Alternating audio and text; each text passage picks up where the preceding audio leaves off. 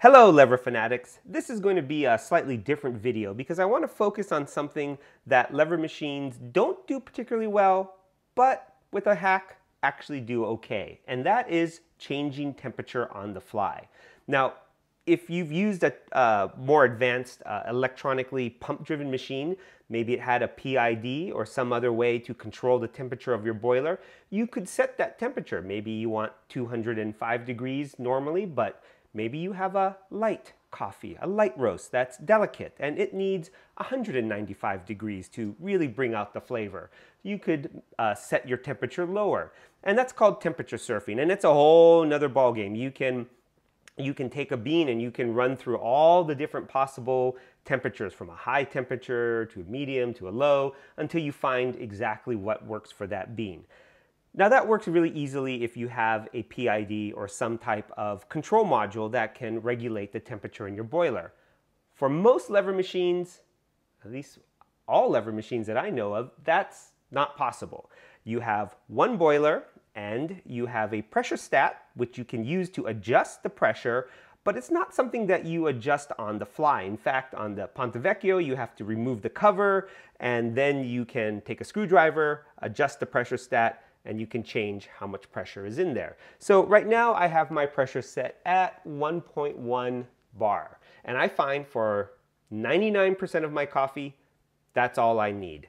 Uh, that works extremely well for light roasts, dark roasts, really heavy roasts uh, that I particularly enjoy, medium roasts as well. So I generally don't touch it. However, there sometimes are times when I wonder, maybe if I pull the shot at a slightly lower temperature, it might taste better. And so without having to take apart the machine, there is a way to pull a shot at a lower pressure without going through that trouble. And that involves really two things. One, turn off your machine. Now, these machines are incredibly stable in terms of temperature. So I just shut the machine off and you can see the needle um, slowly going down hardly, uh, uh, hardly by a lot.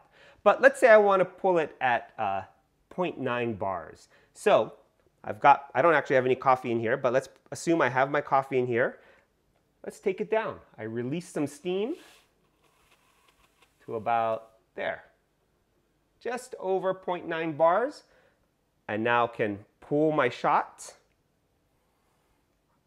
you can typically do one shot, possibly two, uh, if you're quick, and you'll be able to taste your coffee at 0.9 bars. Now, if it turns out you really like that and you want that to be a permanent setting, then sure, take off the cover, adjust the, the pressure stat, and you will always have 0.9 bars.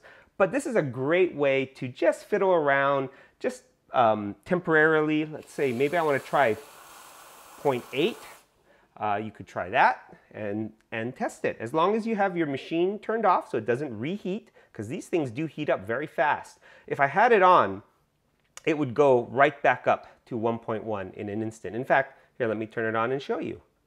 So the switch is on. So it, you can hear the boiler coming up and I'm already at one bar and then I'll go up to 1.1 and it'll shut itself off. So you can see the response time is very fast on this machine. But again, if I flick it off, it holds its temperature and I can adjust it.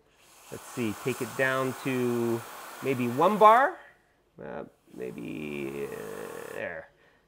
There's a reason they call this temperature surfing. And it will hold at one bar. I can pull a couple of shots and um, see if I like it.